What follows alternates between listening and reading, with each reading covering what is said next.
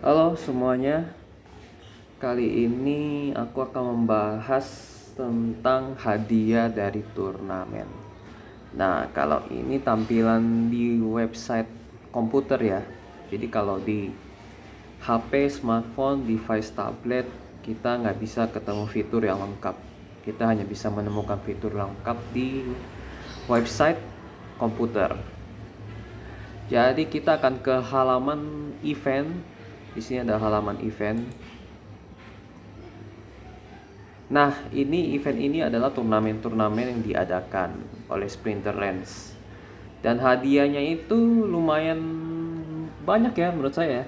Ada yang 8000 dolar, 200 dolar, ini 1000 dolar.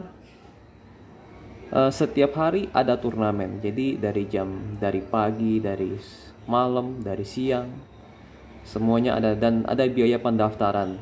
25 token SPS 20 DEC 125 SPS 25 DEC ada biaya pendaftaran dan ada hadiah yang bisa didapatkan.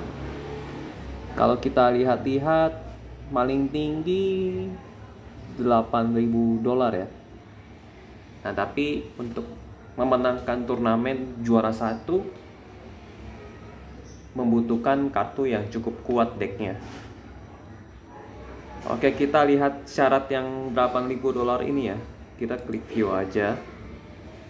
Nah, ini selain ada hadiah untuk juara 1 sampai 4, juga ada hadiah untuk juara 33 sampai 64. Kelihatan ya, jadi juara 1 sampai 4 itu mendapatkan 3500 SPS yang kita bisa tukarkan ke uang asli dengan cara pindahin SPS-nya ke toko kripto dari toko kripto kita pindahin ke uang asli. Jadi tidak hanya juara satu yang dapat hadiah itu, tapi bisa jadi juara 64 yang paling terakhir pun juga mendapatkan hadiah juga.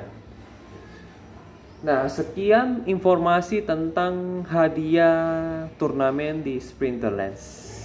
Bye bye.